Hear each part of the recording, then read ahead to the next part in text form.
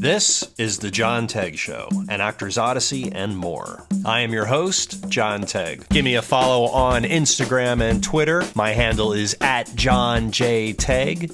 That's at J O H N J T A G U E. Drop me a message, give me a follow. I'd love to hear from you. This episode is brought to you by the Rolling Soldier Digital Web Series, a psychological web series about a CIA agent on the run with what is left of his team and family. Available on YouTube and Facebook. Check it out. And Rising Lotus Yoga, with yoga studios available in Sherman Oaks and Newhall, California. Let joy rise. www.risinglotusyoga.com and www.risinglotusyogascv.com. How you been?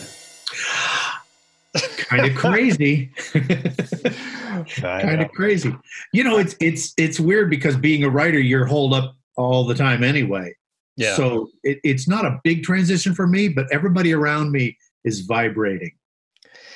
Yeah, I'm at that point now where um, I'm starting to lose it a little bit.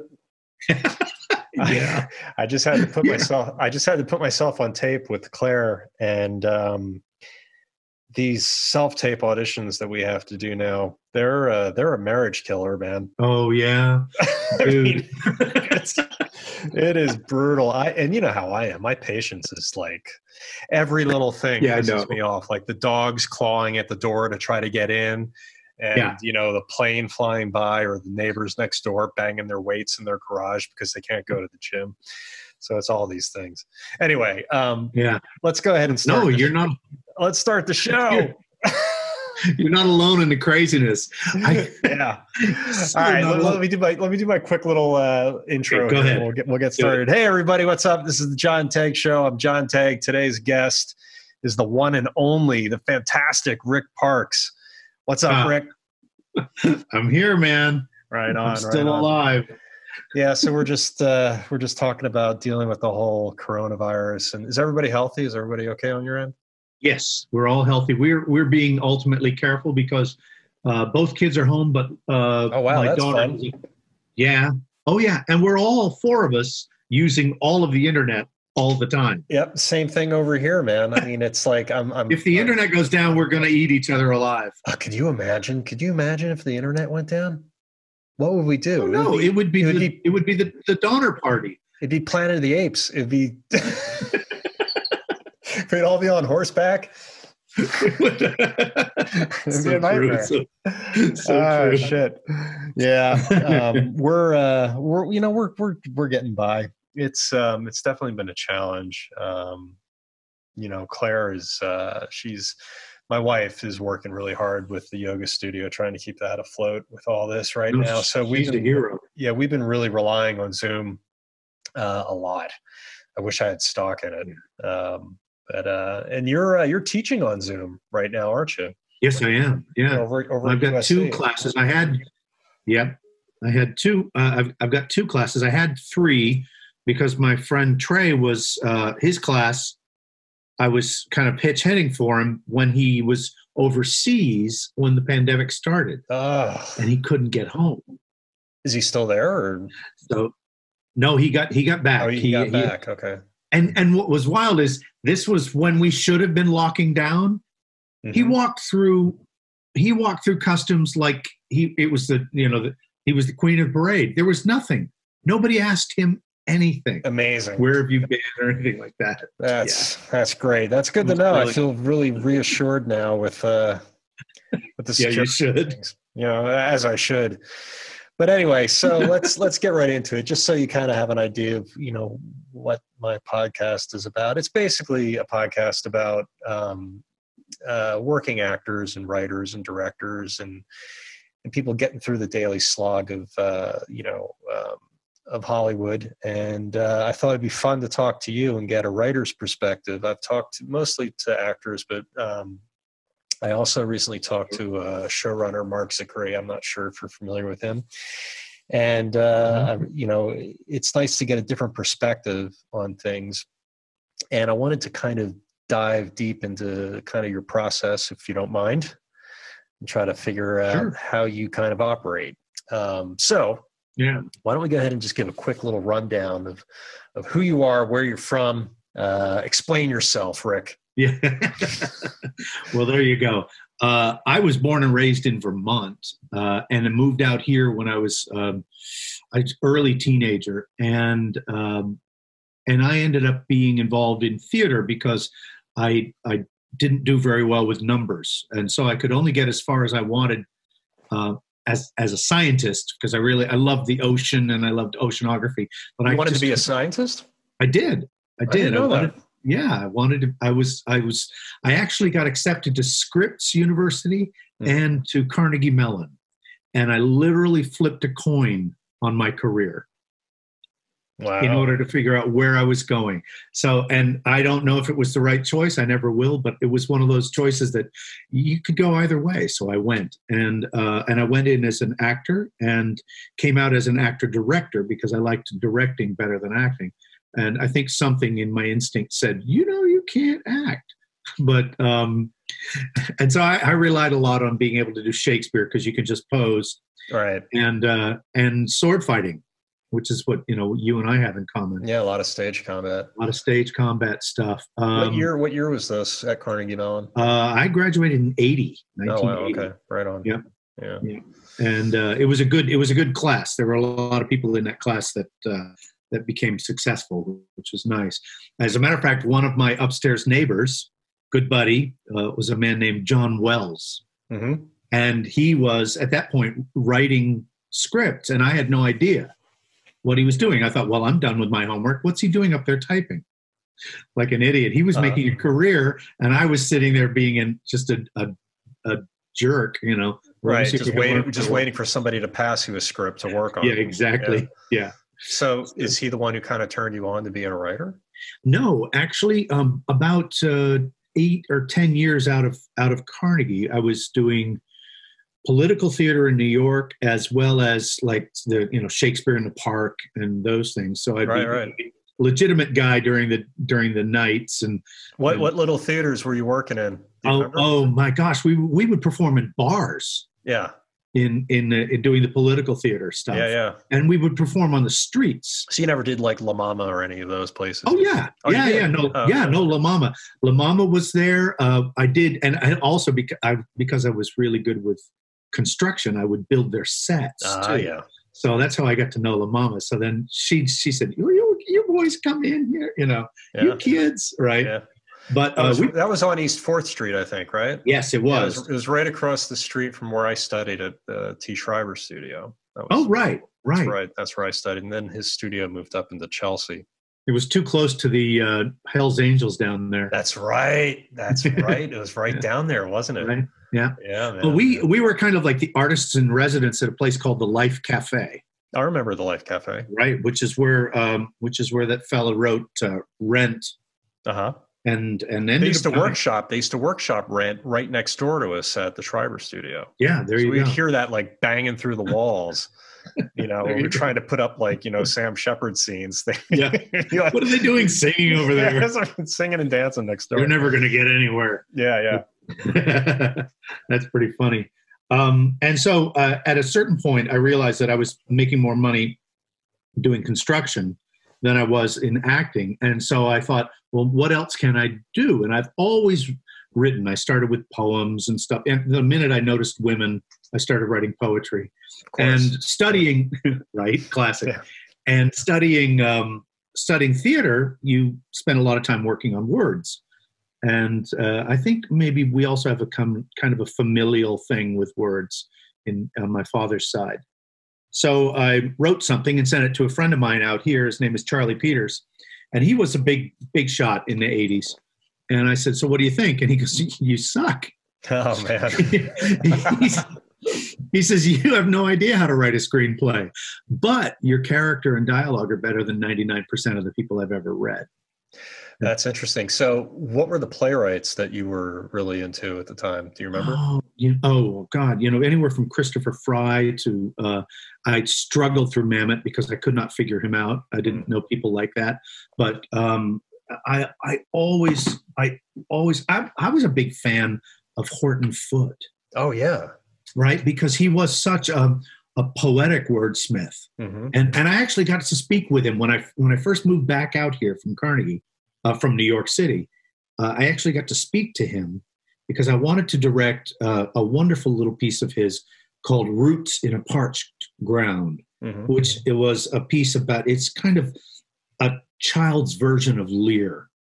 It's Cool. really amazing.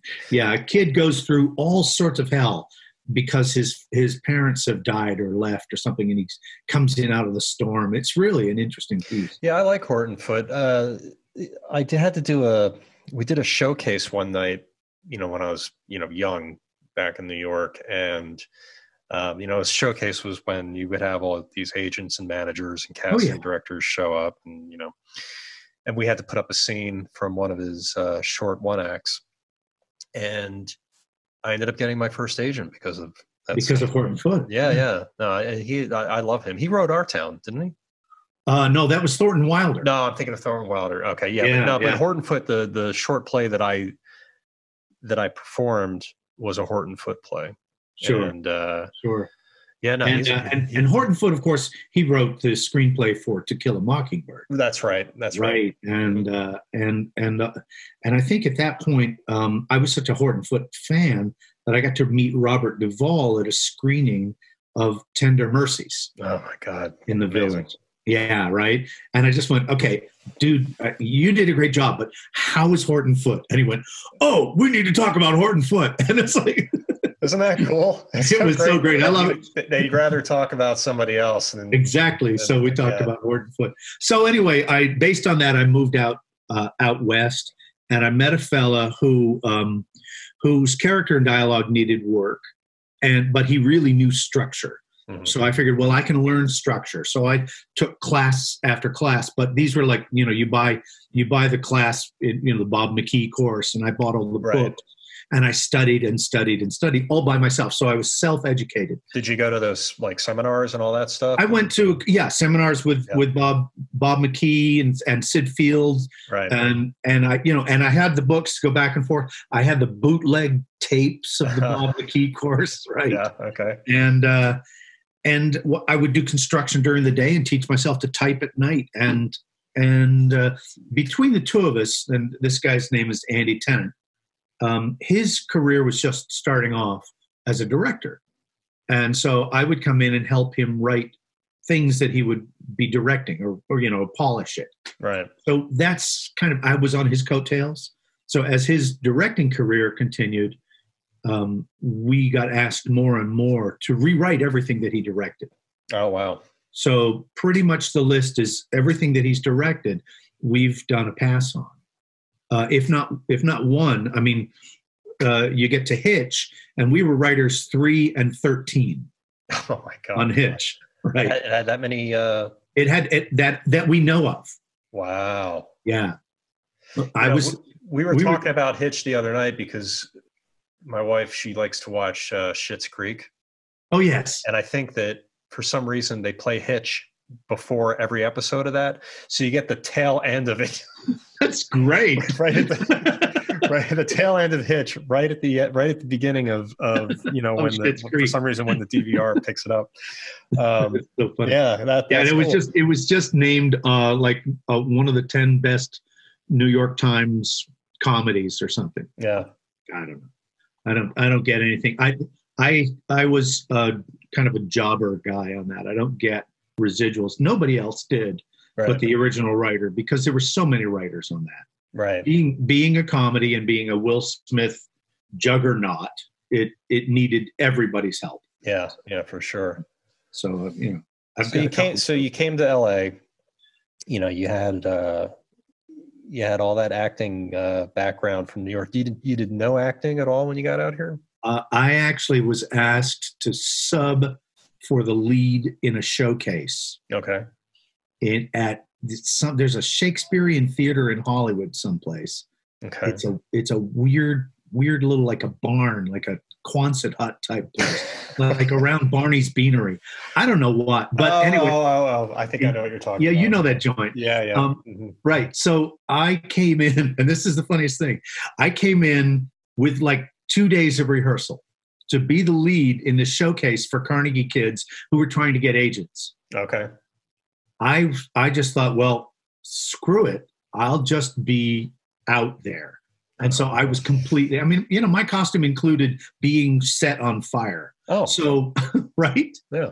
That's So- safe in the theater, right? It was. It was. Safe. Well, I basically I get, came in smoking is what I did. You know, just and and because I didn't care, and this is important for actors because I didn't care whether or not I got the job. I cared whether or not I was entertaining. I got an agent, Isn't that funny how that works? and I turned them down. what agent?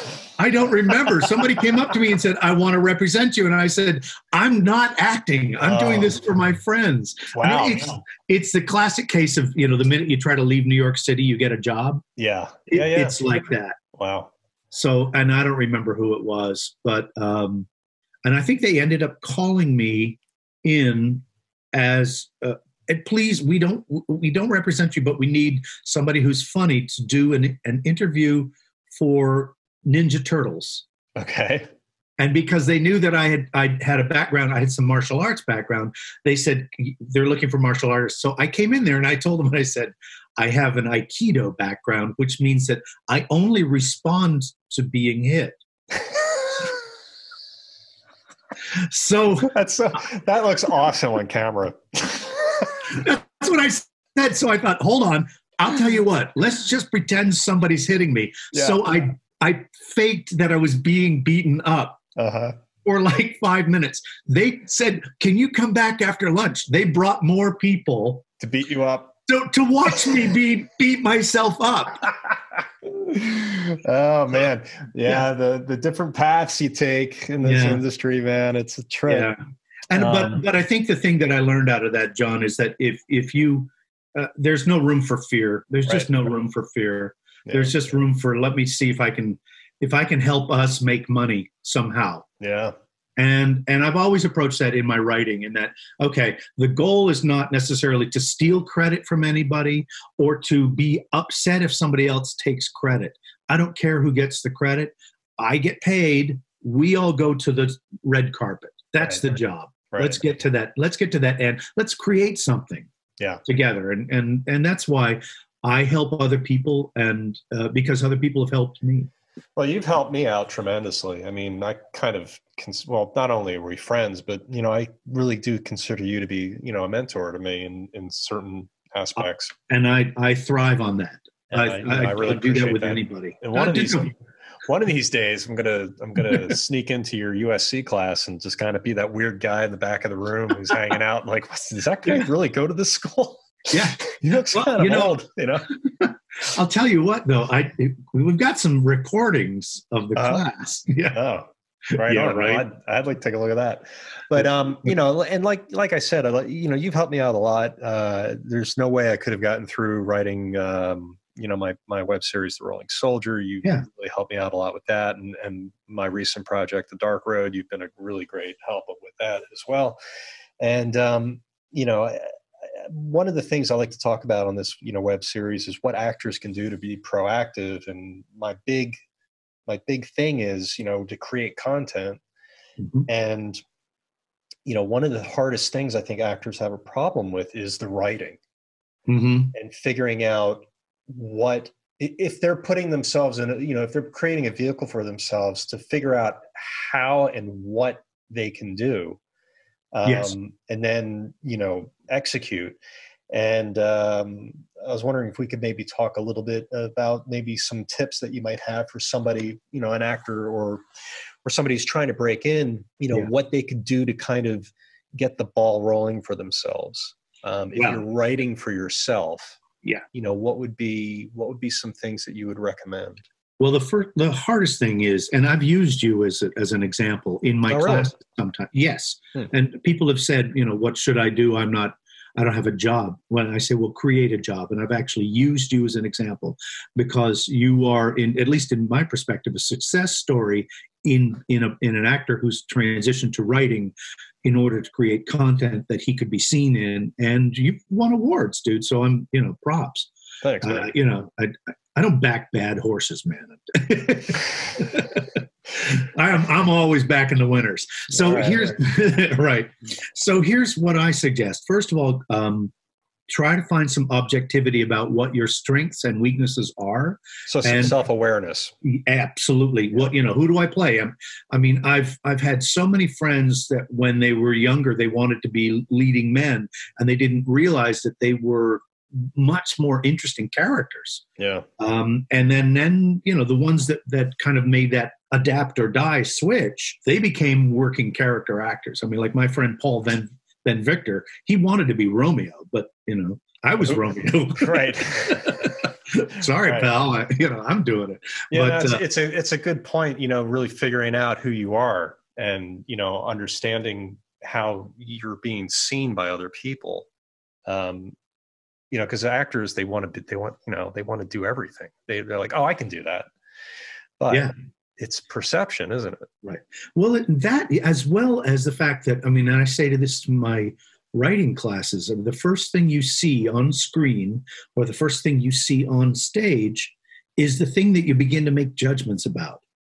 And you do it whether uh, overtly or covertly. You are constantly making assumptions, and it goes way back to caveman days when you know somebody showing up. uh, The the person who looks like they could eat you alive is the person to be aware, aware of. Mm. And um, so, fight or flight, you have a presentation, you have a you have a, an image, you have a, a, a vibe.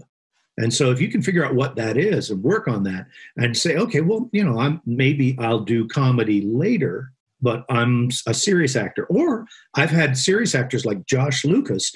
This guy was a serious, serious actor, and we had to lighten him up so much Yeah. for Sweet Home Alabama because he was, you know, he wanted to be Ralph Fiennes, you know, Mm. and it's like, come on, bud, you know, it's a comedy, It's and we, and he's a, he's a funny guy, yeah. but he wanted to, you know, he thought that's the only way to act. And yeah, there are dramatic moments in in Sweet Home Alabama, but on a whole, you just have to be a constant good energy and trying to be that part of you. Right? Right. So it's not all of you that is that you're presenting. You're just saying, what are my strengths and what are my weaknesses? And and I, I have not just one strength, but I have a number of them. So which one do I want to put in my garden?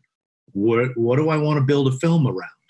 Right. You know? Yeah. So I mean, if you are if you are the, the rugged uh, uh, construction type, then build something around that. Don't you have a buddy who comes across as that, who, who's like the worst auditioner in the world? Oh, Don't Scott, yeah, That guy is hilarious, and and that's an example of Yeah. right. You are Mr. Straight Man, dude, and you play you play that so well, and he comes across as I'm going to do that too, but I can't, which is so funny. Yeah, no, he's great. His his his whole shtick, uh, you know, he does this this early auditions, you know, Yeah, yeah. series that he's that he's created for himself, and he actually created a uh, he he put it all together and, and did some other and shot some other stuff and made a, a sh- like you know like a forty minute short that's up on Amazon now, which is really hilarious. great. Yeah, it's amazing.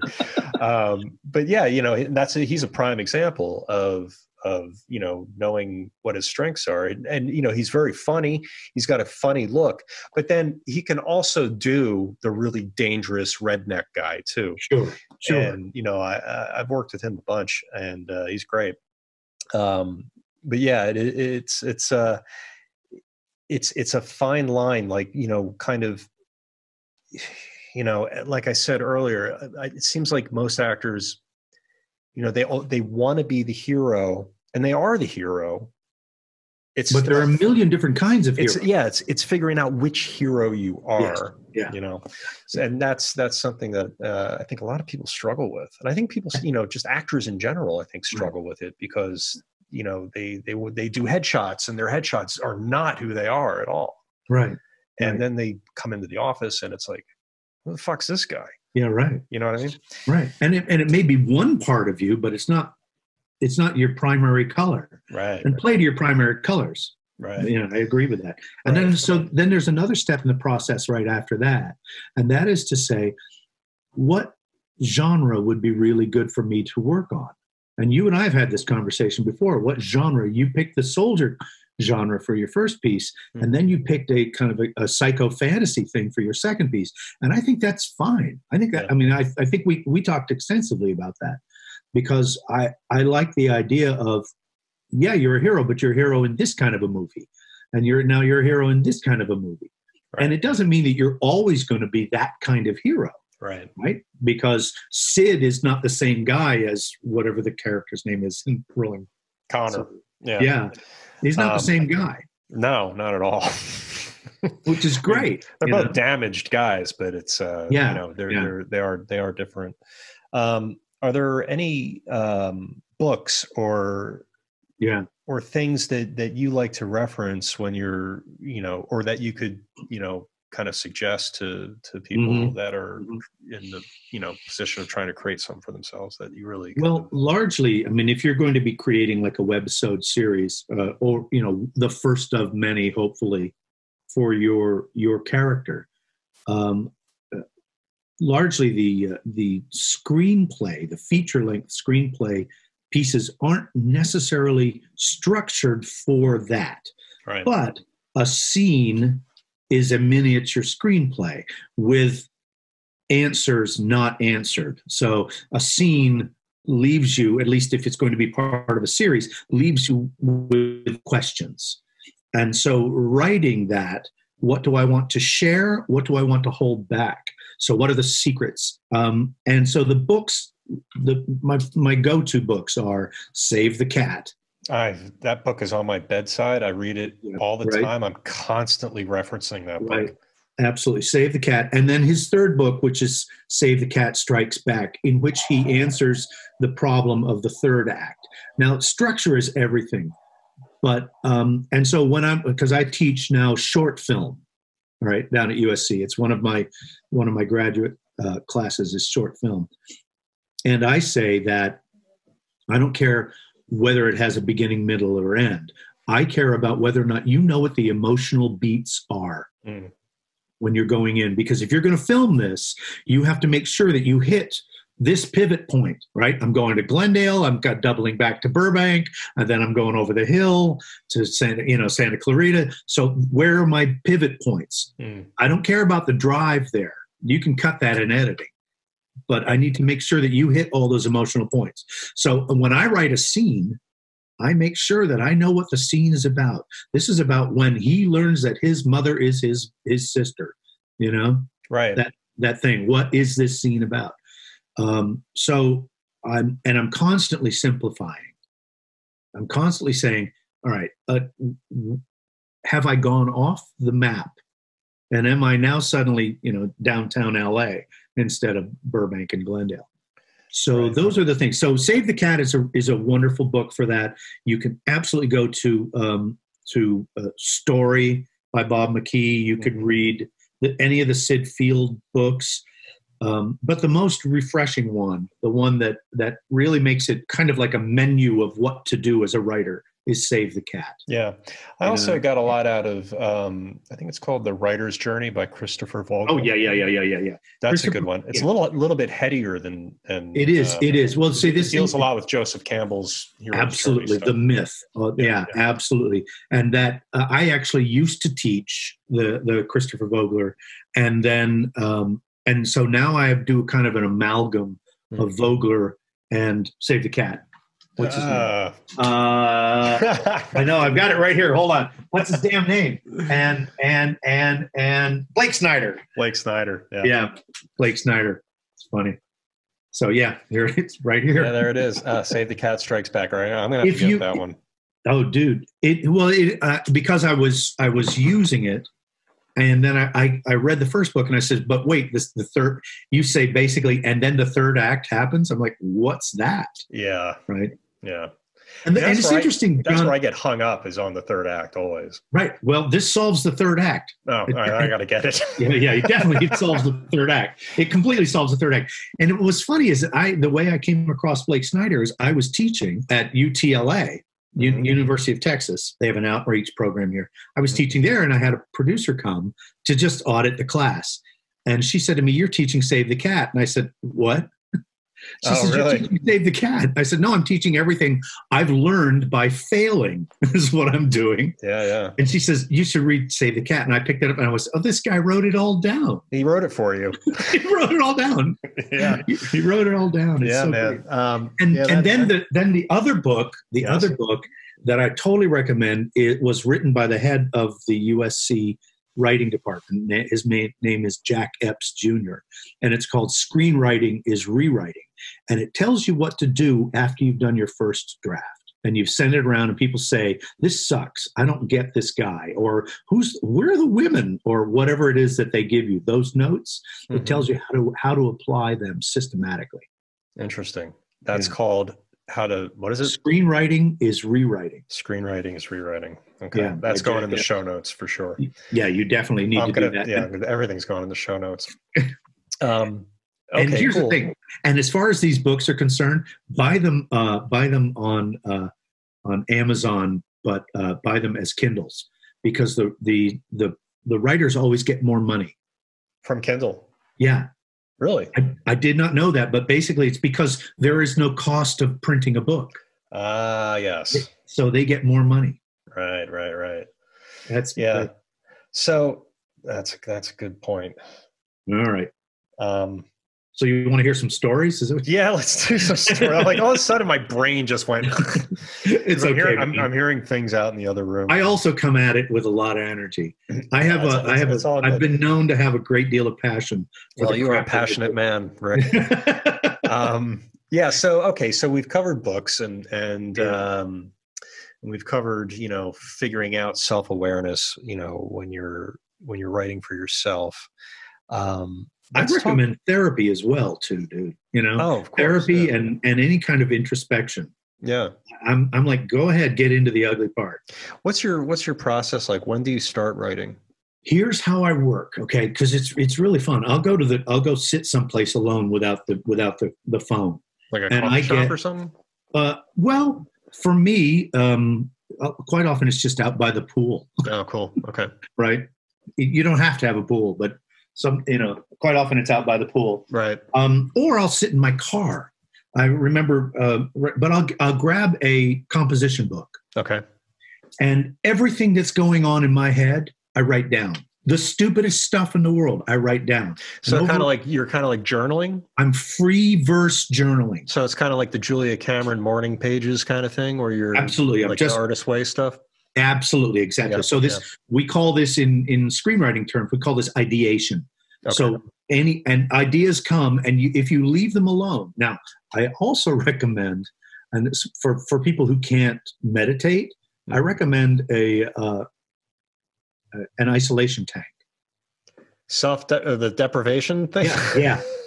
Because here's here's the thing: one of the one of the worst things for a writer's mind is a distraction, oh yeah, and everything is a distraction. it's the same So- thing with being an actor. I mean, Yeah. everything. You, that, and I'll tell you this. Okay, so um, my my good old buddy Holly Hunter Mhm. was deaf in one ear, and so she had to work really hard to be able to hear what people were saying, uh-huh. which gave her a sense of focus and attention to the other actor Wow.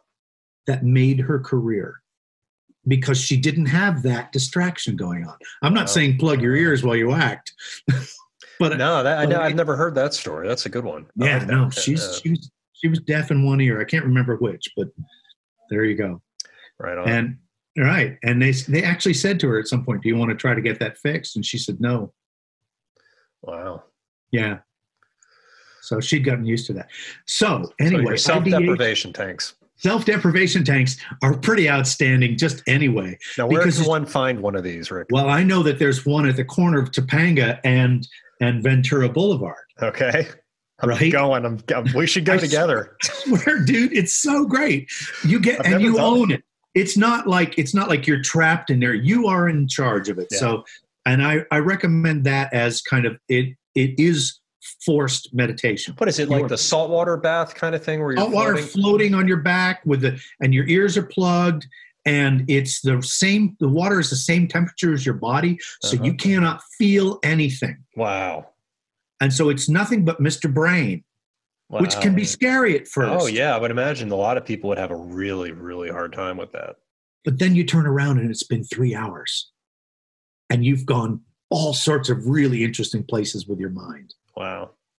all sorts of So then, and then, and then you, and first of all then you're calmer when you walk out your blood pressure is lower and you have thought right. and you have this is focused thinking and it's really hard to have focused thinking i get maybe like you know four or five minutes of it a day Yeah, man, it's tough. You know, it's finding the time to just sit and be quiet. I mean, I try to meditate every day. I do transcendental meditation. I try to, you know, blocking off those two 20 minute sessions. You know, I'm lucky if I can get one in, yeah you know, um, and I do find that that helps a lot. And, but what happens to me a lot of the time is when I'm meditating, uh, those ideas will come in, but the idea is kind of like to let those ideas come through, pass, and then they're done. right And right. sometimes it's hard to remember those, and you don't want to break your meditation because you don't want to, you know. But uh, there have been times I've been like, "Oh, that's really good," and I'll write something down. Yeah. Um, all right. So, so and the good ones the good ones stay the good ones stay. Yeah. So you find some quiet time, and you you go you dive in deep, and you write it all down, right um, and you just write down whatever you you whatever's coming to you, just like kind of like you know that that diarrhea on the page, just getting it out there, and or whatever's locked up in the head, and just letting it come out, and then it's there, and your mind's clear. But then you also might have some good ideas that you've written down. Right. how it goes? Yeah, pretty much. Um, I'll I'll if if I am doing my job, I'm keying into what other people are also keying into.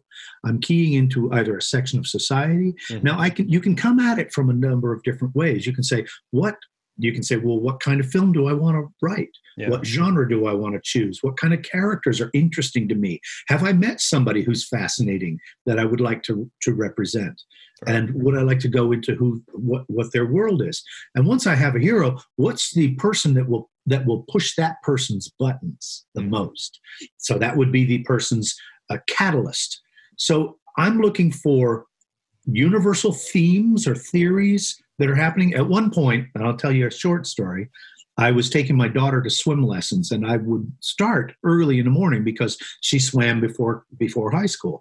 And I would I started noticing the people in the world that nobody sees, and they were very more or less invisible. Mhm. And then I realized that anonymity is a big fear in the world.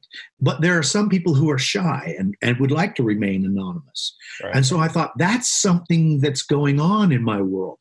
And so then I created a pilot for a series that I that I wrote about a young man who became invisible, basically a young version of the Invisible Man, but without the evilness. right. Right.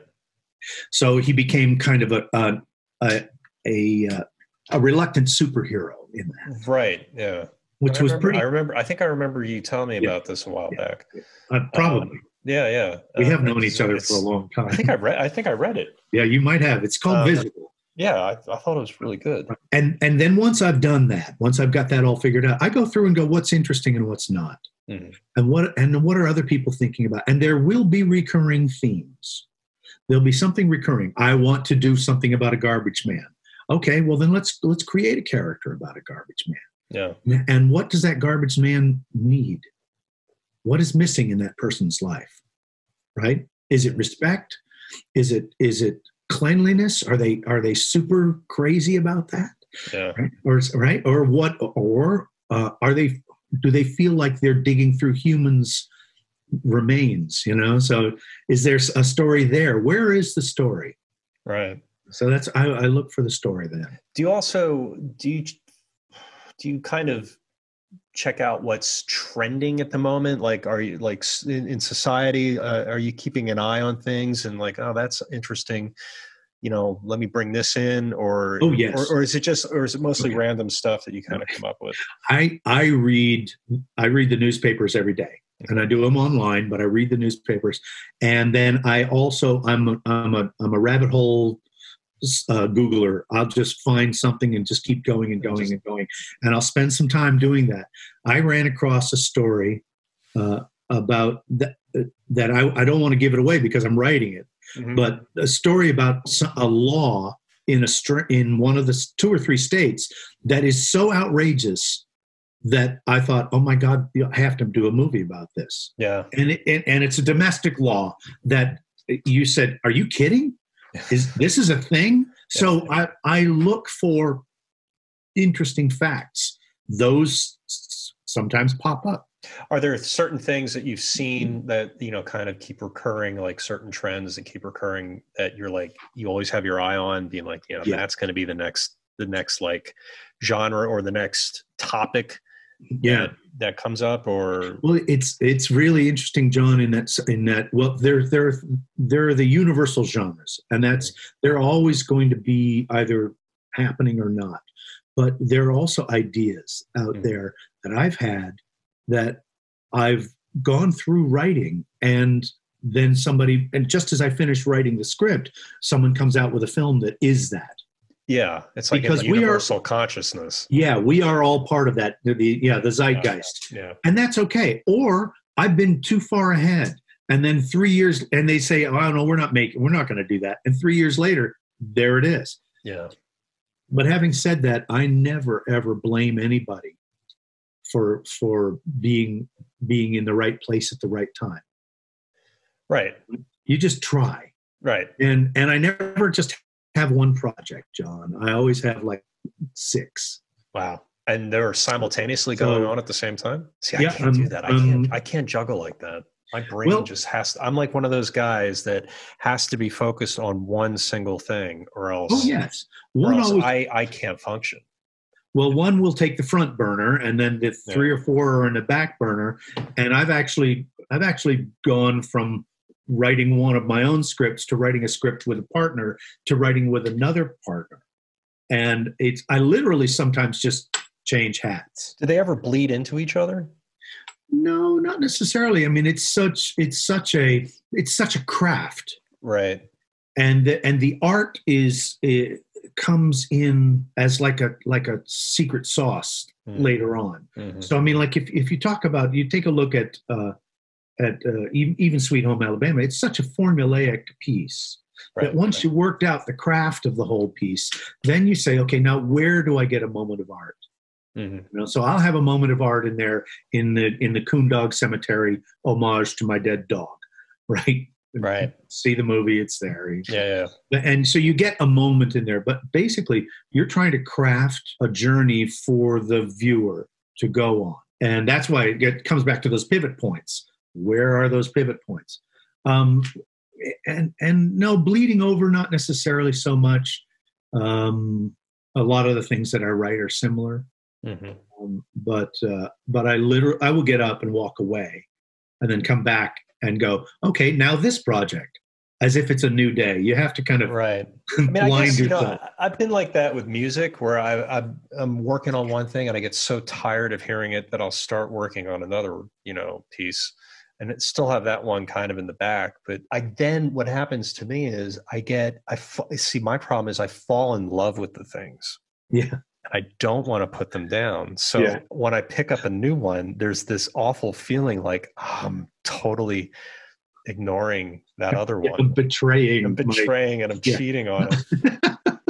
I am of the of the mindset that it will come, and I've had scripts that that studios have called up, and they own the script or something, and they say, it, "I know it's been six years, but you know we want to dig this out of the archives and redevelop it."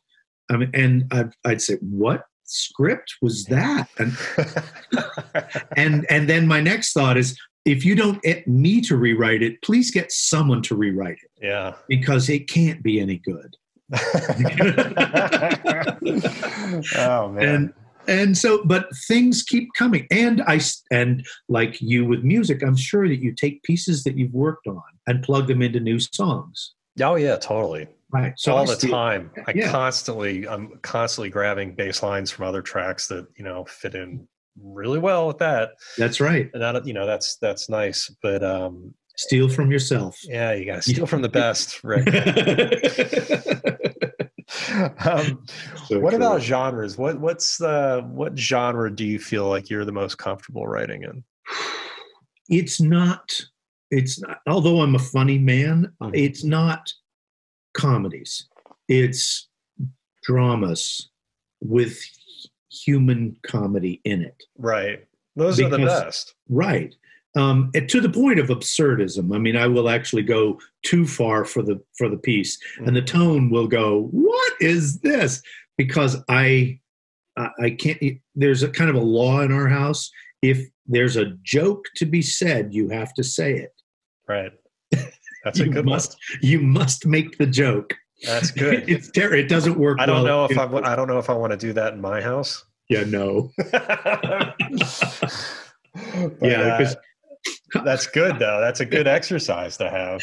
yeah no and, and I, I always say you know you gotta you have to sleep sometimes so be careful Right. um, but uh, yeah, as as far as genres are concerned, I I mean it's even even the uh, the the secret because we're just that's going to be coming out. yeah. Can we talk about that? Sure, sure, sure, sure, absolutely. Yeah, I can talk all about it. Awesome. Um, but even in that, uh, it was tonally it was it was very very kind of like serious life stuff, and I thought life is not just serious. Right. life is not just silly but it's not just serious. So how do we change the tone of this as well as change you know as much of the story as we can in order to make it so that it was palatable um, to everyone? Because that's the thing. You know, my, when i first started getting involved in this my partner had already been involved in it for a while and it was uh, it was originally a script written by uh, Bekah Brunstetter and the producer um, and they did a, a, bang up job taking this uh, book about you know like a psychological theory and The turning law it of into- attraction. yeah the law of attraction Right. and and they actually kind of distilled a story out of nothing so they spun straw into gold in my opinion. And uh, but then they got lost. And so my partner and i came in um, we were able to say let's make this much more human much more relatable much more uh, much less precious. And so and that was a that was that was a joy for me to be able to because because i said because you always say what's it about? And and it, it, to to not to not to diminish it but it really was a lot like you know bill and ted where it's like be excellent to each other Right. you know yeah. Exactly. and i thought well that's universal everybody's and every religion if it's a good religion and people stick to it it's all about being excellent to each other be nice try being nice and see what happens just try that Yeah. try not being a jerk Yeah. Don't be a dick. and and what's really interesting is that it it builds upon itself you actually find yourself like driving nicer and less aggressively and well, there's a synchronicity to it. indeed you know where you know one good deed leads to another or one you know and then it feeds one back really one bad thing leads to another also Yeah. You so know, and karma works both ways in my totally. opinion yeah there's So- no there, it, there's there's no line right you know Exactly. it's it's it's all the same soup yeah so yeah that's um we read that book um well i read the secret i remember when it came out um like i bought a copy of the dvd for claire. Sure. Where they interview i think all the people that were involved in in uh, her what's her name? Rhonda bynes is that her name? Right. Yeah Rhonda, um yeah. they you know all the people that kind of helped her kind of formulate this this idea and the one uh, person that we really kind of connected to the most was esther hicks who would Right. channel abraham the right the entity that would give her information about the law of attraction. Um, you know, it's very interesting stuff. It's a little out there, um, but I think there's there's good lessons in there. And well that's the thing is i always say well what's the what's the what's the good takeaway from this i don't care whether or not it, it comes from a talking rabbit what's the good Exactly. takeaway from this yeah, you know what's how can we help yeah, 'Cause, yeah. uh, yeah, I just I'm I spent too much of my life being a negative guy, and uh, That's and weird, it's not just a blood I- type. I don't think I don't feel like you're negative at all. I feel like you've got. See? a- I won. feel like you have a very dark sense of humor. Here, but I here. don't, I don't think you're negative. Uh, Well, never, there was- I've there never was- seen you negative. You're always No, there was some anger anger in my youth. Oh well, Anger I'm, in my I'm still youth. going through that. it's so true. But but yeah, and there and you're not alone. You and Claire, and you're not alone in in in looking at that and saying that helps. Oh, totally. That helps. That helps the, the world. that kind of thinking, and I and I I'm very appreciative. I didn't see the film, that original documentary film, Well, I think until after I was finished. we saw the original version. The original version had Esther Hicks in it, and then Right. they made another version where they cut her out, and I'm not sure why. Yeah, I, I, I don't know why. Maybe it was conflicting with her books. could have been, you know, Oh, because okay. it has you you have to figure out how to make a living out of this. Sure. stuff. Yeah. So, yeah. you know. So, yeah. I mean, it's interesting stuff. What's what's the status on that film now? It's uh, like pretty much every other film in Hollywood. It's been delayed. they're not going to try to do some kind of maybe. No, they, they don't want to do an online thing yet. They're going to. We're hoping for the fall. Oh, And man, I uh, hope so, man. I, I think that needs to be in the theaters. I think people need to see it. I, I just I think that's just a home run for you. I really hope that happens. Yeah, well, I will say this: it's really interesting because we had a number before the uh, the pandemic. We had a number of screenings, and uh, people would come out and they, and this is not me blowing my own horn. This is uh, the No, blow about- your horn. no about the power of positivity. Right. That people would come out and say, "Oh my God, I need to change my life," Oh, that's great. And I'm like, "Nice. How'd you like the film?" that's great, and it stars Katie Holmes, right? yeah, Katie Holmes and Josh Lucas Josh Lucas. Yeah. and uh, Jerry O'Connell. Oh, I who- worked with Jerry O'Connell. Right, Jerry Yeah. O'Connell. So did I. I worked with Jerry O'Connell in uh, Sliders. Sliders. Yeah. Right. Yeah. Yeah. I worked on uh, Crossing Jordan with him. Oh yeah, He's a great guy. He, uh, you know, we went late into the night, and he made sure that he was there for everybody's coverage, nice. uh, which is Nice. something that does not happen. Nobody does that, but the but the real the real actors. Yeah, he stayed for everybody's coverage. It was great. Really, really sweet guy. Really great guy. Well, I'm looking forward to seeing that, man, for sure. That's definitely going to be on our list of things Right. to do and see. Yeah, That's a good Yeah. movie for me and Claire to It's a good date for movie for everybody. Yeah, yeah. for And sure. and not only that, but I always said, I said when I first when I first saw the the rough cut, um, I said, "Oh my God, this is going to sell so much Chardonnay." Oh my, yeah, exactly. That's how that's how it should be booked. You know, and that's how Yeah. they should they should bill it. Like you know, they should maybe Get your cre- Chardonnay. Yeah, they should create a Chardonnay around it. Um, you know, I had some questions from some people online that I wanted to ask. Oh, that's you. cool. Um, let me see. Let me just bring one. I'm surprised that anybody anybody thought well because really there's only one serious credit out there for me because the rest of the films are all uncredited. Really? Yeah, yeah. No, it's the Writers Guild. For for years, the Writers Guild would not allow me credit because I was working with a director, and uh, and then they had they had a different standard for people who were already getting a, a, a credit on a film as a director or a producer. You had to prove substantially greater than 65% change and there's there was really no reason to do that there was no reason to do that so uh, Yeah. I I- well, you get paid, and then that's that's it, right?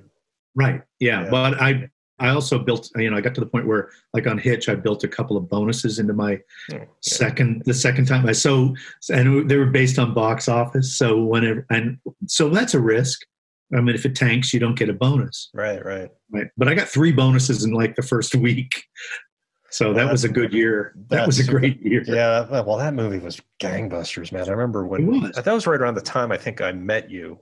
Was it? Could it could have been? Let me think- I see. so. Because I, was thinking about it earlier today. I think we've known each other for almost 15 years. No, no, no. More, more. You sure? More. When when did Yep. here, You started- Here's, here's little started back, here's some backstory. So I I- I used to teach uh, kids martial arts, and uh, Rick's son Jack was one of my students, and he started. What what year did he start with me? He was four. Oh my god! And he's 21 now, right? yeah. Oh my god! yeah, but dude, you were such a positive influence on him. Above you, you can a dad is only a dad.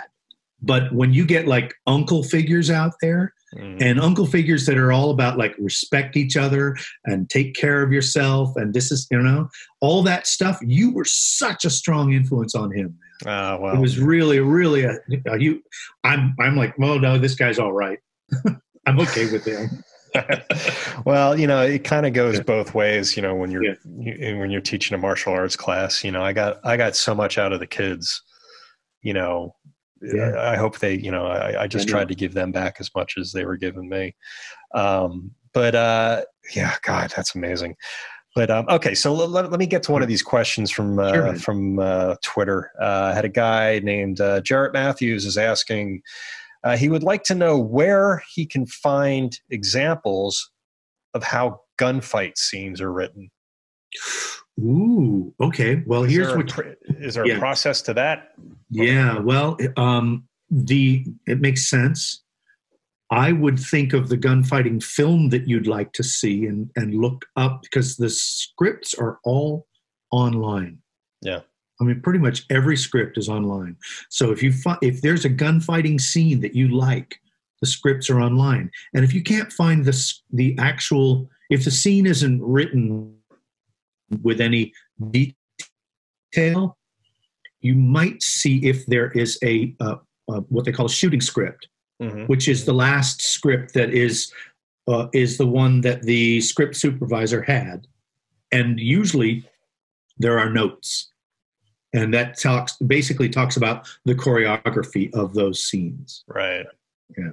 So uh, yeah, I would search online, and if not, you can go to the Writers Guild. The Writers Guild has jillions of things for people who are non non guild members. Oh, really? Yeah, yeah, Right, no, absolutely. Oh, Yeah. No, I, Check when. I was uh, when I was a non-guild member, I I was having an issue with uh, uh, the Star Trek people stole one of my ideas. Uh-oh.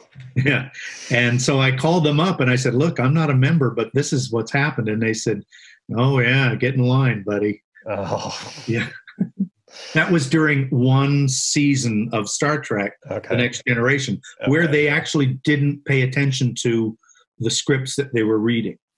Oh. and they would they would just either accidentally or overtly i don't know Mhm. those people were replaced Mhm. they were borrowing from things Interesting. so yeah i know right yeah. it's a long it's another long story Yeah, I bet, man. Um, what's your take now on the quality of television compared to film as far as writing goes? well when um when when the marvel juggernaut moved into the neighborhood and kind of dominated the swings um a lot of good writers thought okay where can i go to get things produced? So that's and then that at the same time the streaming services started to become larger and larger. So Mhm. all the good writers have really rolled over into into the streaming services. And as long as people don't get complacent people meaning writers don't get complacent you're going to get magic stuff out there like from breaking bad to better call saul to Oh yeah. I mean, even even some of the stuff that I've seen in um, in these limited series, you know. Did you see Outsider? Did you watch Uh, that? I did not see that. It's pretty no. good. Yeah, I mean, uh, yeah, I was watching. Um, what's the one? Watchmen was good for Yeah, you I know, haven't. I for a while. That was like I didn't get. I didn't connect to that Yeah. to the pilot, but everyone's like, you got to keep watching.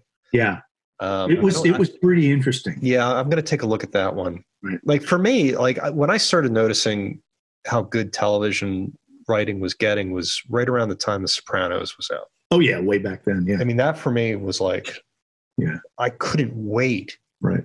For that show to come on. I mean, it was like an event. there there are there but there've always been there there's always been a trickle of like the Steven Bochco's uh you know and the and even and the John Wells thank you very much Yeah. who who've run that and they've been the quality TV where over here is the entertainment and over here is the Drek but then the, the streaming services were were saying they they ended up with a lot of money yeah, so they brought money to it and they would kind of develop pieces. Right. now i mean i've got a series with uh, a&e now that they're they just you know they're they're selling it. They're going to go out and sell it and and if i secret it right Yeah.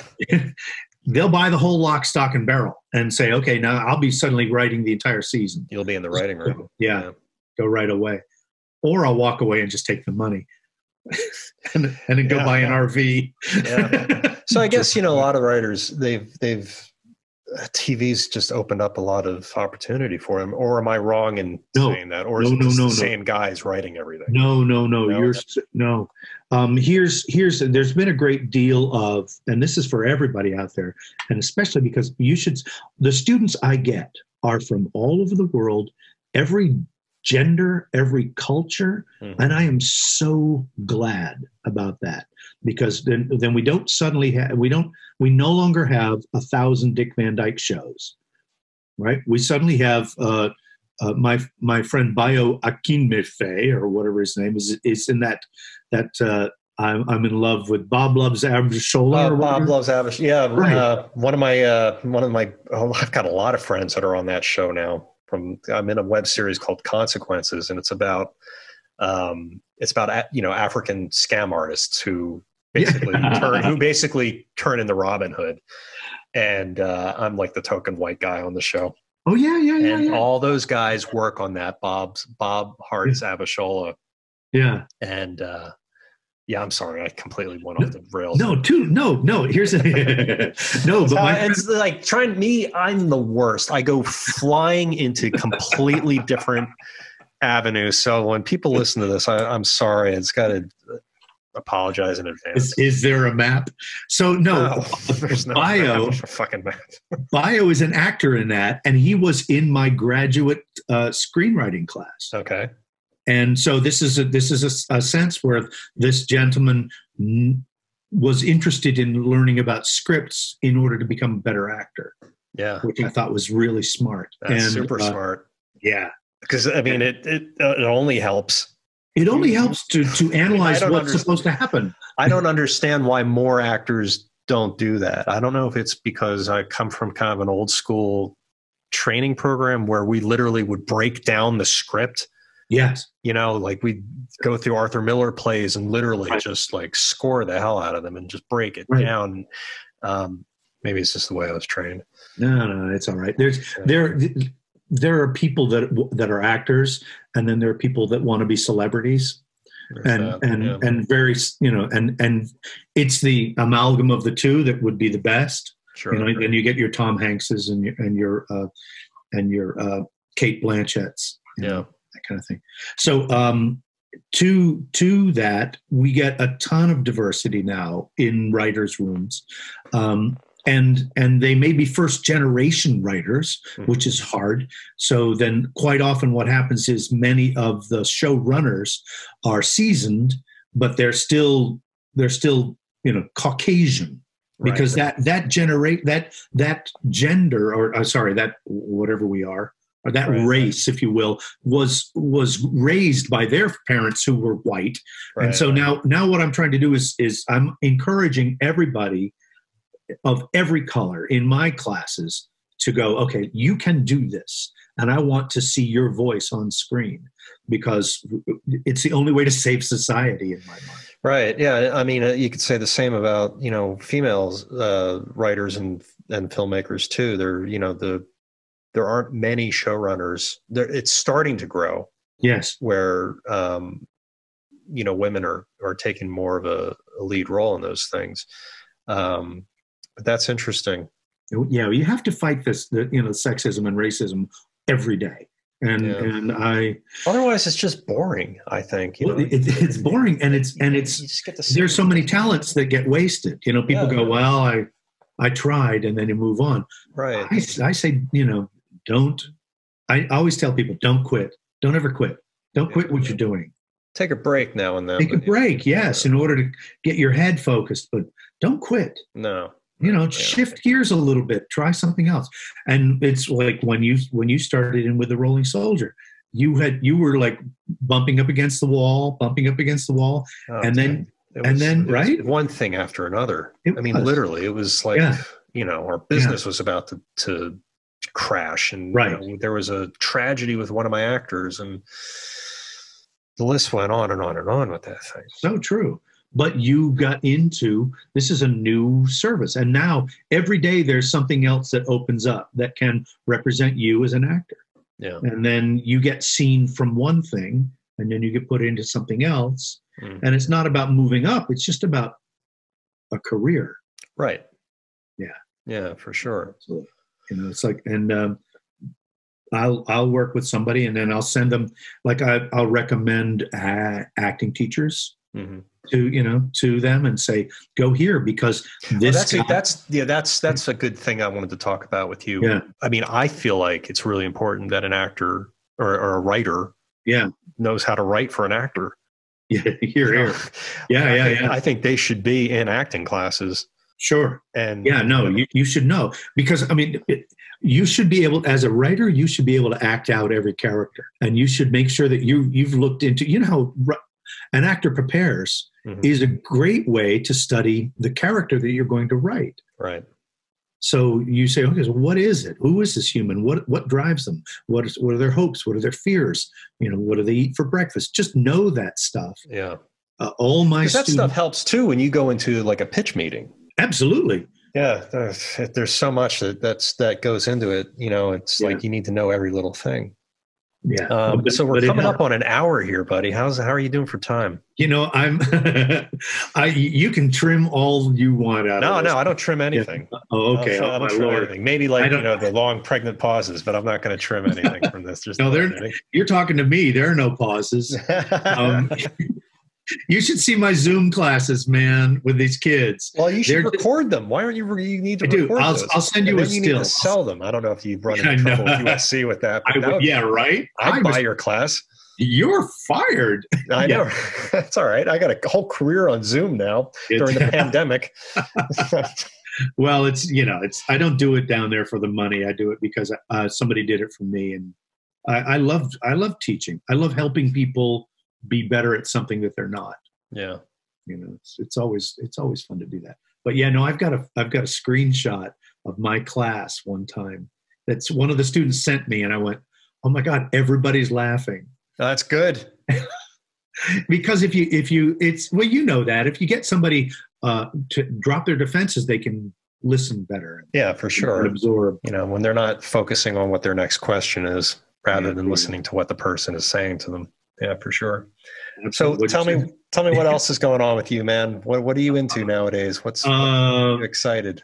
okay we're doing a rewrite on the on the uh, the murder mystery in bora bora piece that uh, that we've had around for years Okay. it's really it's really a fun it's basically it's body heat in bora bora Oh, I was just talking about Body Heat with I know, somebody. right Such Yeah. a good movie. It is such a good movie. It's so much fun, Yeah. and uh, and it's one of those ones where you go, "Oh, this is so messed up." Yeah. But isn't it pretty? But isn't it messed? My my partner and I quite often what we'll do is we'll say, "Where would we like to go film?" yeah. And then we start writing a movie about that. Yeah. It's it's so it's not a bad way to do things, you know. No, it's like, well, let me see what we have. We have the uh, the true story of the Pied Piper, and I thought, well, yeah, I would love to do a period piece set in, in the Austrian Alps, and yeah, let's do that. interesting. Yeah. So there, I, I'm telling you, I have hundreds of projects, and I and so I encourage all of your listeners, if there are any left at, after an hour, I encourage all of your listeners to do as many things as you can. Just do as many projects as you can. Just get it And- out there. Yeah. Yeah. and just keep at it. And you know people do showcases and and even if you get burned out auditioning get yourself in a play. Keep doing what you do. Yeah. because the only person who's stopping you from doing what you do is you. Yeah, totally. really. I mean you know you go you, even if you're just like i'm bringing on the i'm bringing on the drinks in a tray for in the middle of somebody somebody else's showcase. Yeah. you're at least out there. Yeah, you're and and then you know then your clothes will be on fire and you'll get an agent oh man, I'm gonna try that. I'm gonna light myself on fire my next audition. See if that works. it's been weird though doing the auditions uh, lately. You know, I mean, Online. I've, I've I've done tons of you know things where I've had to submit myself on tape. Right.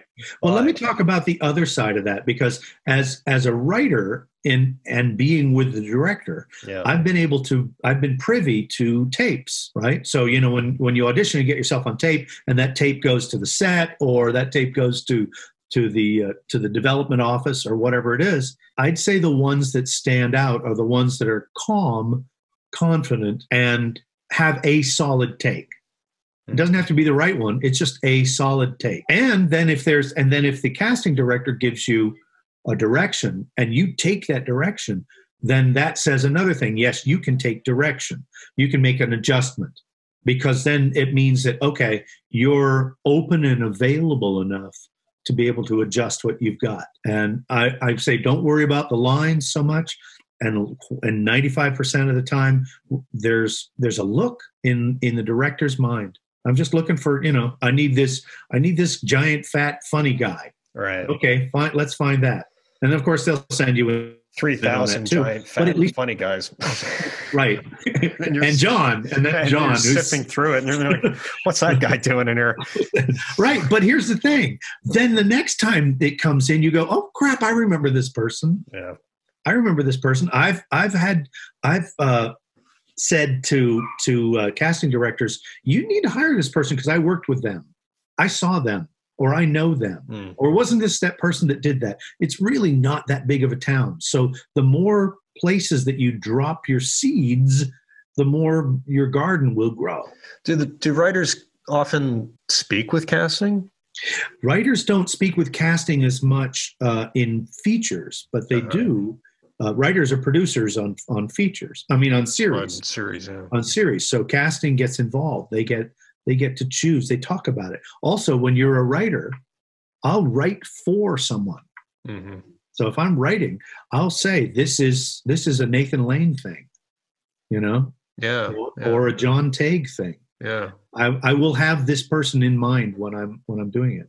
So yeah the, you know networking is not just about can you give me a job? Networking is about do you know who i am? And let's talk about fly fishing Right. And then later on, I'll go, that was that guy. And at least I know he can fly fish. yeah. Cool. I've got a fly fishing movie, you know? There you go. So, so rather than focus, because, and I, cause I remember from being an actor that it was always about how am I going to get work? How am I going to get, and that was a blinder. Yeah. It Totally. also, it also was a red flag to anybody I would talk to oh if, yeah. if I was that guy. So I discovered that if I, if I talked about anything but acting, I had a leg up. Yeah. And uh, you know, I would say, so, you know, have you have you been skiing this year? You know, Right. Right. and then we're talking about skiing, right? That kind of thing. Where'd you grow up? Yeah. That kind of stuff. Yeah. Yeah. It's, it's and you No, find, it's I mean, true you know a lot of people. You know a lot of people from Jersey, Oh yeah. so there you go. Yeah. right. Totally. All right, man. All right, Well, man. listen. I've wasted too much of your No, time. no, man. This has been amazing. Um, where can people find you? Are you? Yeah. Are you on the Uh, interwebs? Are you on the? Uh, No, I'm I'm so not. I'm uh I'm on MeWe. I'm trying to avoid Facebook because it just sucks my brain out. uh, Uh, I uh, yeah. not a fan I think I- anymore. What? Yeah, I'm, not- no. I'm just not a fan of it anymore. No, the only thing it's good for is is remembering people's birthdays. That's about it for me. But- yeah, and uh, but I am on Twitter. I love What Twitter. I, am on Twitter. I'm uh, who am I? What's my I'll put name? I'll put your handle in there. I'll make sure Yeah, that people yeah, find I'm you. on I'm on Twitter. So yeah, if, you know, and I'm constantly posting the most uh, psychotic things on there. I have some real, I have some really, I have high friends in places. I have some really good, good people that I follow, um, and and you can find my uncle Van Dyke in there. Oh yeah, Yeah, right, Van Dyke Parks, right. uh, So- Beach Boys fame, and other amazing That's right. artists. Yeah. And Randy Newman and Randy. Harry Nilsson. And hmm we talk music forever, but that's another podcast. That's another podcast. It is, Yeah, man. man.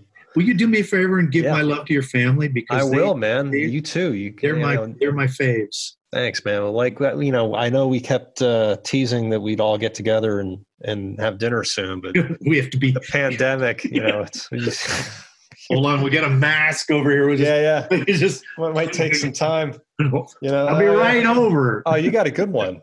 I've been, Yeah, no. I've been running around with a bandana over my head. I look like Yeah, no, I got- uh, like I uh. Butch Cassidy. Yeah, Um, well, Rick, I wanted to thank you, man. This has been great, and uh, you know, I, I wish nothing but the best. You've been an incredible, um, you know, mentor to me and and uh, a good friend.